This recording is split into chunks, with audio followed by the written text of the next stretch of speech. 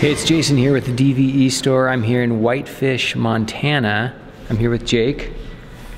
Say hello. Hello. uh, we're here in a brand new city hall. In fact, it's so new, it's still under construction. Uh, so construction's a little delayed. Uh, it's actually kind of dusty in here. We've got a lot of expensive equipment to set up, but uh, it's going to be a cool setup because uh, we've got four uh, PTZ Optics cameras and a, uh, a vMix um, switching system that we're going to install. Um, so I'm going to take you through this whole process. It's going to be pretty cool. So hang on.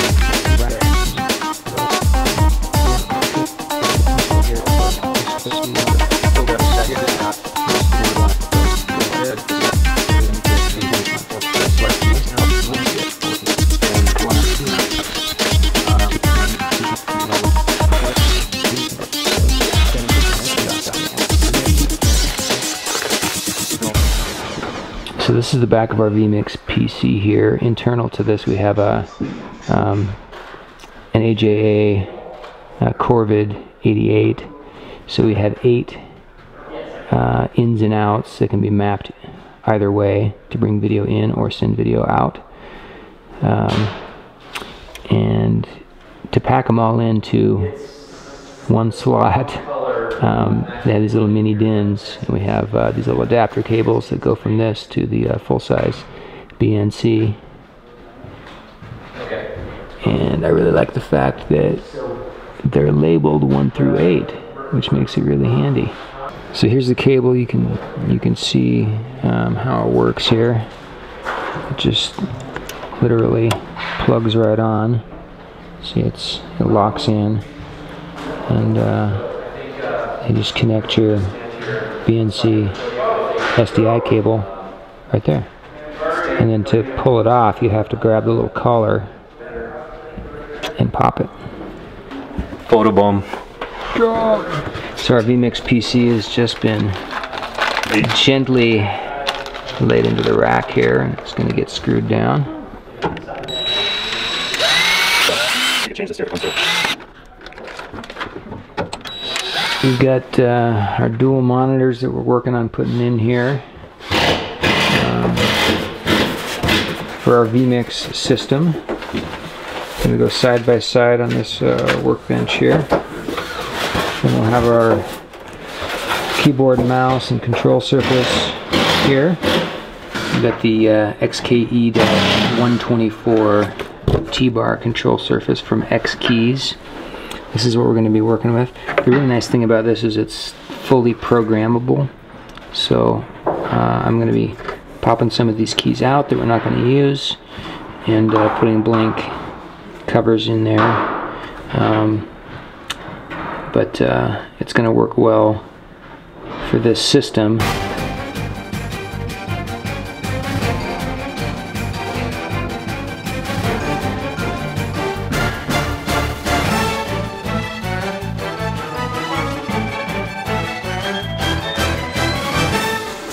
Breaking out these PTZ Optics cameras.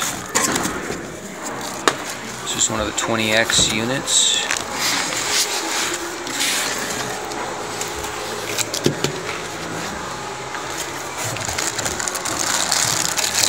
We've got our two mounts uh, put up here. Let's see. Here and over here. So we got our wiring ready to go there. Cat 6 and RG6. So Cat 6 for control and RG6 for video. So now we just need to get our camera prepped. We've got these uh, bottom plates that need to be mounted directly to the bottom of the camera.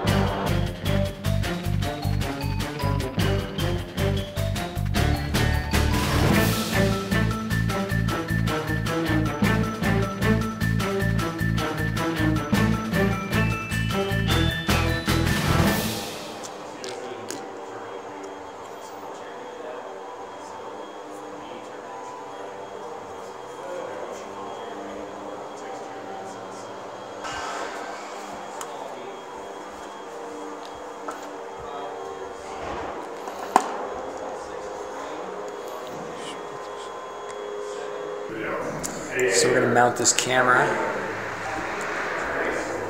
right here on the ceiling. I'll show you how it's done.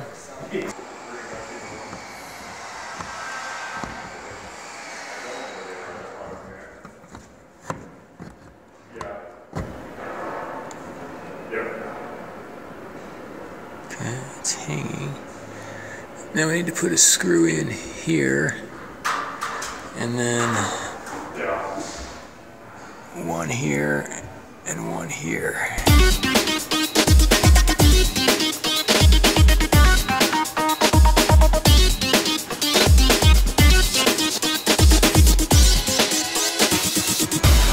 So as you can see, this thing is rock solid now.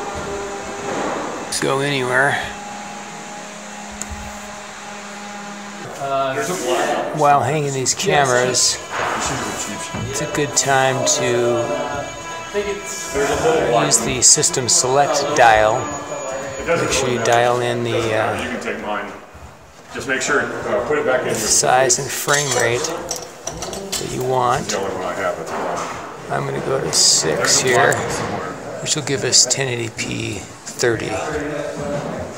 So here I am in the back of the rack. We can see our, our vMix system here.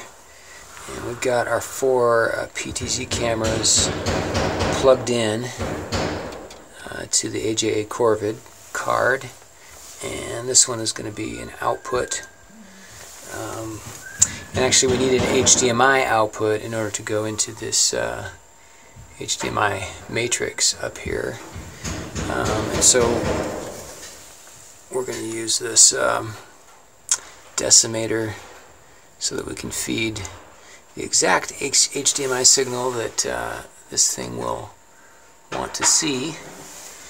And uh, one little wrinkle is that this rack actually does not have um, rear rails. It just has a flange with no holes. So I'm going to use a couple of uh, sheet metal screws and I'm going to mount it right there anyway. And uh, that should do the trick for us. And when that's done, I need to get my control surface and keyboard and monitors and all that plugged in over here and then we can power up and make sure that we have camera signals and then we work on getting our network control configured. We've been working on getting these four PTZ Optics cameras connected so that we have network control. Um, we have our RG6 uh, SDI cables all connected as well. Um, I was having trouble getting uh, network access to this particular camera and then I came in here and realized that the two ends, the RJ45 connectors were pinned out differently so that's why the communication wasn't happening, wasn't signal wasn't making it all the way through. So uh, I'm going to re-terminate uh, this cable so that we have proper network connection. Just be aware that uh, when you have multiple uh, cameras, these default to a, to a static IP address and it's the same default for every camera. So if you plug in all of your cameras simultaneously, um, those um, they're, they're all going to compete for that IP address and you're going to have problems. So just uh, plug in one camera at a time and set up one camera at a time, change it to the IP address that you want it to be. So here's the network switch that I'm using. Uh, just a little Netgear ProSafe uh, to create a little control network for the PTZ Optics cameras. And I've got my Cat 6 cable uh, labeled uh, camera D. That's the one I just re-terminated the other end on. And uh, so, and I've got my three other camera connections here. But again, I'm just doing one uh, camera connection at a time because they all have the same default IP address. So I need to change them uh, one by one. So we're going to see if I uh, can actually see this one now. I've got the default IP address. Yes. Okay, so we're connected. Now I'm going to open up the uh, IP address setting utility that uh, PTZ Optics offers. So we're going to go up here and we're just going to hit search. And you can see that all four of my cameras show up, each with their own IP address. And uh, that's exactly what you want. Now I can go into vMix and uh, have full control over all of them, be able to set presets. We're here inside of vMix and I'm going to go down here and click add input and we get a our input selection box which pops up. And uh, we're going to click on camera. And so you click on camera and then you see all your options. And they're all the Corvid 88 inputs. And the cool thing is is any of these will also work as an output but uh, it's pretty cool how you can just swap them so we're gonna go uh, input one. Um, that's all correct. We're gonna hit OK down here. And then boom our camera shows up.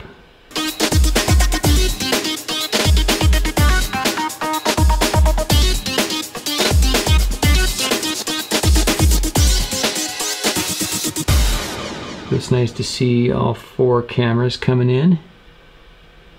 That's excellent. Now we can go in and see if our PTZ control is uh, operational. So we can go into input one here, just click on the um, gear icon for input one. Come over here to PTZ on the left, device type PTZ Optics Visca UDP. And of course we need to type in our IP address for that particular camera camera 1 so that um, it knows where to find it on the network. Okay, now we should be able to connect to that and boom. Now we're able to control the camera. We're up near the ceiling, so that's why we're getting a nice shot of the uh, chandeliers. But once we zoom a bit, we can get past those, not have to to deal with that. We can slow the speed down a little bit so that we're not moving around so much, so quickly anyway. So this could be a shot of, you know, a section of the uh, city council bench So the cool thing is here is that uh, we can create an input at this position. So this just makes a, a preset becomes input 5. And then we can create another input. I think for now we'll just uh, we'll get a zoomed in shot of the ladder and we'll say create input at this position. It becomes input 6 and we'll go ahead and close out of this.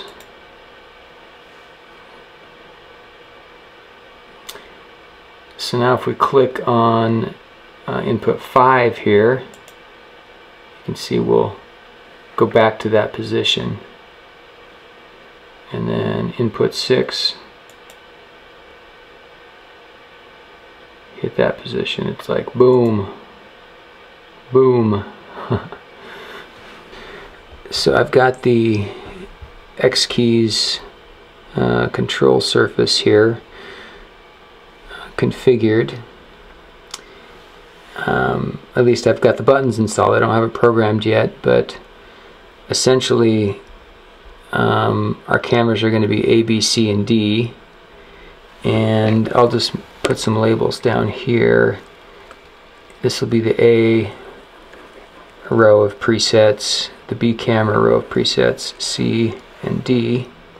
So we'll have 12 preset buttons available for each camera. I don't think we'll use that many, but they'll be there. And uh, so what each of these buttons will do is uh, go directly to that preset when you hit it in the preview window. And then you'll hit take um, to go live with that particular shot. Now if you just want to cut directly to wherever one of those cameras is currently, then you can just hit A, B, C, or D. It's going to be a world of difference from a one camera shoot. I'm going to have options, I'm going to have overlays, I'm going to have um, camera moves pre-built and I will be able to adjust those and save them on the fly.